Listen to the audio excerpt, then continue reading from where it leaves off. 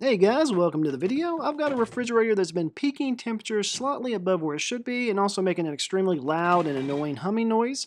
I've located the sound coming from the top of the freezer compartment, which is where the evaporator fan is located. My theory is that the evaporator fan motor has gone bad, so I bought a new one off Amazon. Let's see how hard it is to switch out. So, in case you're wondering, what is an evaporator fan? Well, the evaporator fan is part of the overall refrigeration system. It pulls air through the coils of the evaporator to remove the heat from the circulating air. It's also accountable for distributing the cooled air through both the freezer and the refrigerator compartments in most cases. As you can tell, those are important functions, and if your fan isn't operating correctly, it can cause your refrigerator's temperature to run high.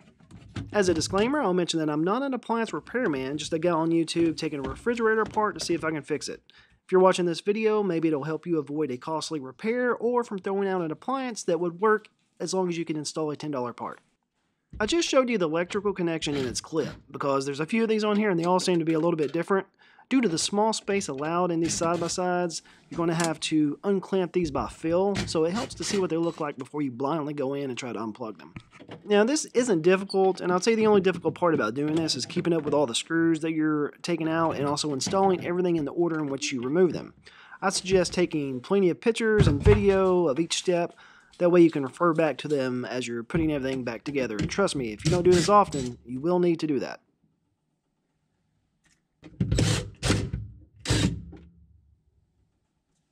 Now there's some pieces in this fridge, like this cover here, where the screws, uh, once you loosen them, you can pull the cover off and leave the screws in place.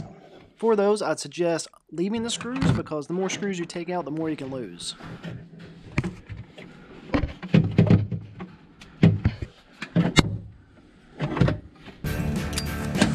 Today, they're gonna test us.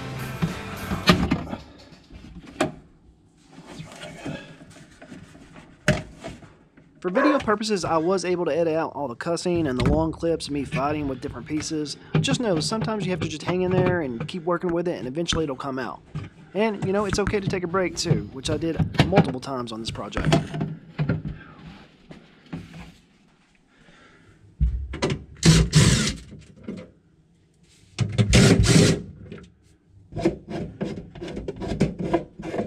So finally, we've made our way to the evaporator fan. That's the housing on the evaporator fan there, and I'm just trying to make some room to get that out, and then we'll try to remove it.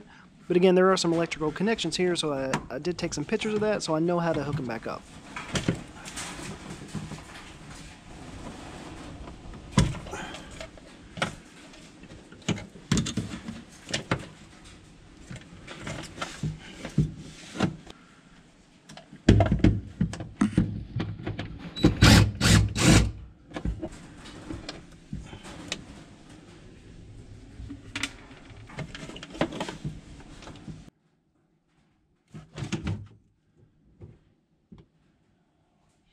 There's so many more wires than I expected running to the evaporator fan housing. I'm trying to figure out how to navigate. Ideally, I'd like to remove this whole unit so that I could remove the old fan and install the new one on my workbench, but it looks like I'm going to have to do it where it sits, which is unfortunate because there's so little room to work on this freezer side.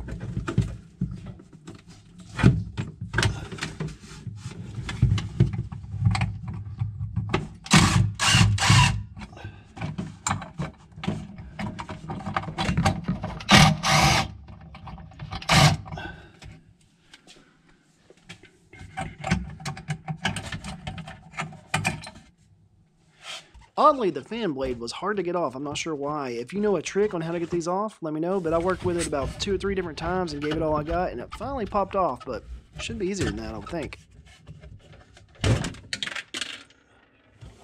During that violent exchange with the fan there, I got two new screws that showed up.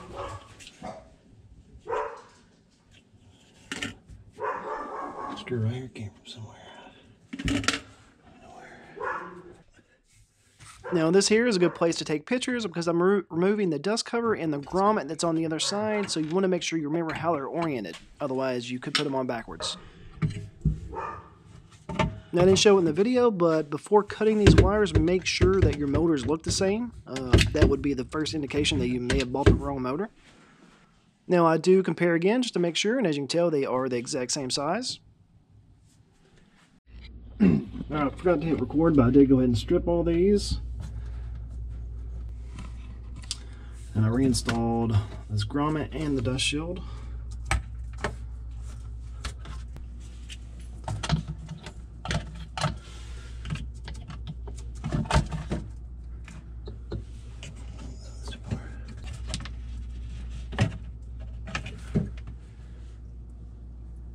Now, one of the reasons why I wanted to get this whole unit out of here and do it on my workbench was so that I could solder these wires together.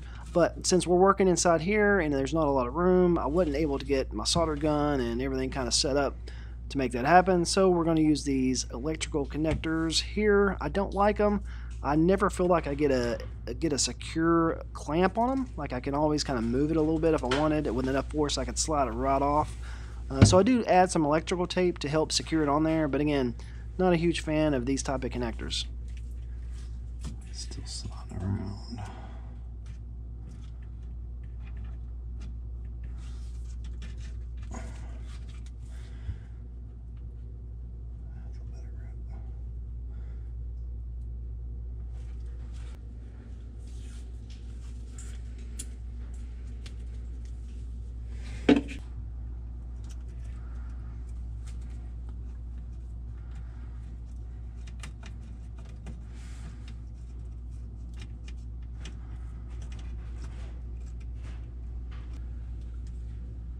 And my apologies for some of these camera angles being off. I did have a new GoPro light that I was trying out. Basically, you mount that to your head mount, and then you mount the GoPro to it. And there's a couple pivot points. So if you're not precise on those pivot points, you're going to be a little bit off. Uh, kind of like here. Like you get all forearm in that shot.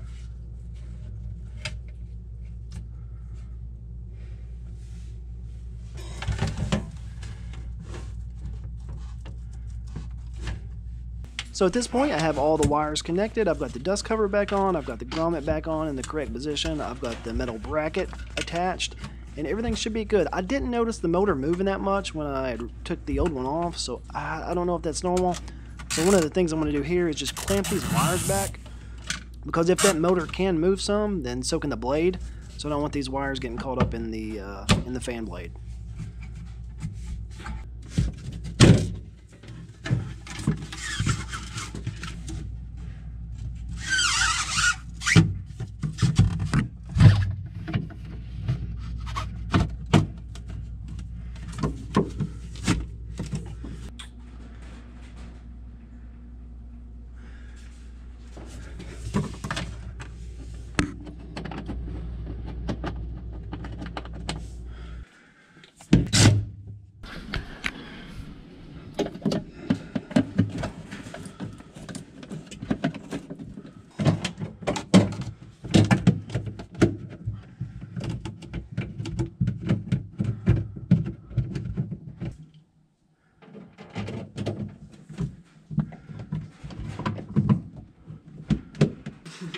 So I'm not going to show the whole thing, but I did make an error here. I started installing pieces in the wrong order. This piece does not go in first, it should be the cover. But I wanted to leave this in here to show you the importance of taking pictures before you remove pieces. Thankfully, I was shooting a YouTube video, so I was able to go back and review my footage to find my error. And I did go ahead and edit out all the unneeded installing so that we uh, are now back on track in the correct order.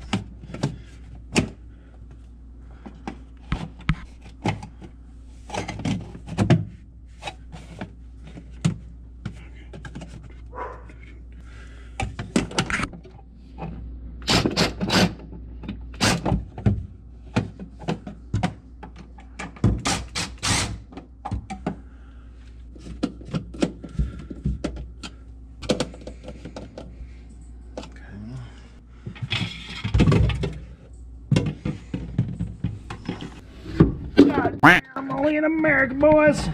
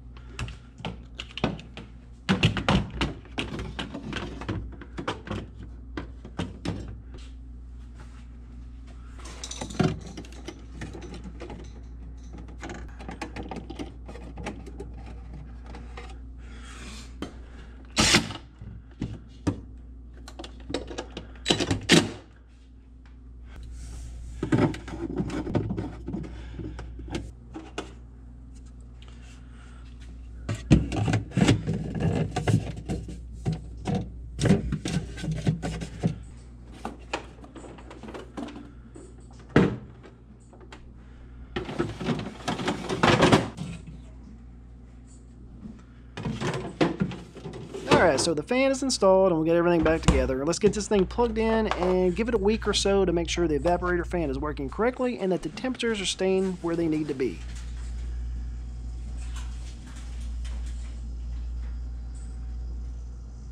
Alright, we're going to fast forward a bit and now it's been two weeks since we installed that motor. These are the settings I have it at. We want to make sure that we're at the optimal temperature in both the fridge and the freezer compartments. So doing a quick Google check, we want to be at 37 in the fridge and 0 or below in the freezer. Before installing the new fan motor, it was peaking on the fridge side around 45 and on the freezer side around 35, so that's way too high.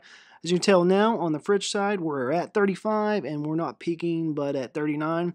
Then over on the freezer side, we're at 3 degrees, which is fine. Uh, we like to keep it at 0 or below. But the defroster is on the freezer side, so when that comes on, it does warm everything up so it can melt the ice. So I suspect that's why we're a little bit high here and have high peaks. And that is the end of the video. I appreciate you stopping by. And if you watched this far, please make sure you hit that like button. Think about subscribing, and I will catch you on the next one. And the next one will probably be a video on how to cheaply clean a refrigerator, and I'll use this one as an example. As you can tell, it is in disgusting shape. It's been sitting in the basement for a while, hadn't been cleaned, but we're about to change that in the next video. I'll see you there.